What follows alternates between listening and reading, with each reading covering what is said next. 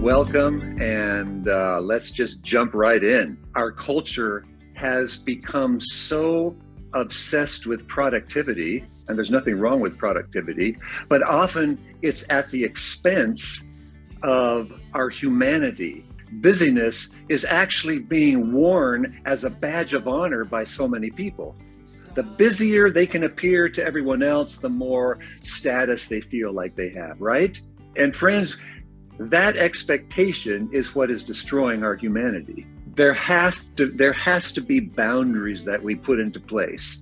With this awareness of where we are and what our tendencies are, the ups and downs that we have, what are we doing strategically to manage that? Uh, there's two kinds of thinking. Daniel Kahneman wrote about that thinking fast and slow. Fast thinking, he said, is reactive, it's quick decisions, it's going on instinct, going on habit. Slow thinking, says Daniel Kahneman, is more reflective. It's takes more time. It, it's evaluating the assumptions and core beliefs and knowledge that you have. Effective problem solving increases when we slow down and allow that part of our brain to begin to reflect on what we're seeing. More and more successful leaders are recognizing that they have to engage in slow thinking.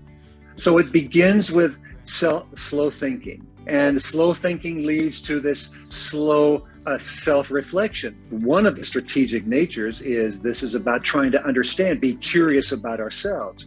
So that leads to a, a rigorous self evaluation. How am I doing? What could I do better? Which leads to a higher level of self awareness. And the reason self awareness is so important is because it's one of the foundation stones to emotional intelligence.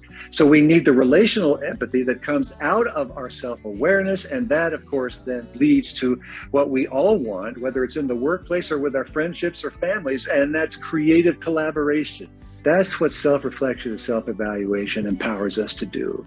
And that's what I wish for you.